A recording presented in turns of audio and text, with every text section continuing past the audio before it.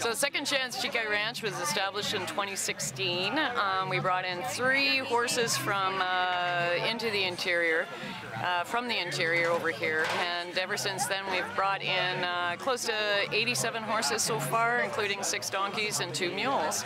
Uh, we've rehomed um, well in excess of 47, I think we are at right now, animals to great homes um, within BC.